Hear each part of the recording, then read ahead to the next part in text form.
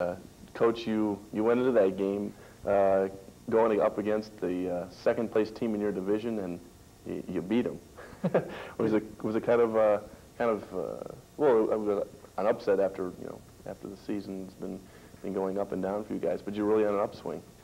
I think everything kind of came together there. We've been talking a couple of months about everything in the system. It's just a matter of confidence. It was a real good win for the program. Kids played very hard and very well. Very impressive. Yeah. One thing we hasn't mentioned is we played the East uh, up there and we lost by, what, 36 or 37. So Yeah. that's a big margin to overcome. I'd say so. They say what home court's about 10 or 12 points, but uh, you seem to make up a lot more. You can do that. You just can't dribble. That's an air dribble. You get one of them. you get one a game.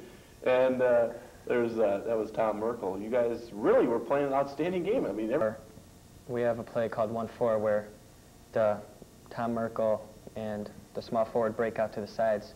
So I look for them there.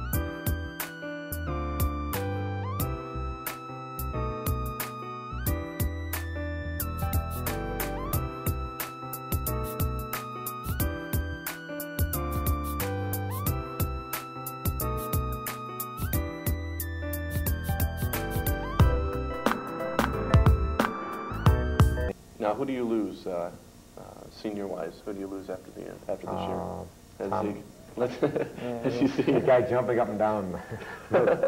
Tom Merkel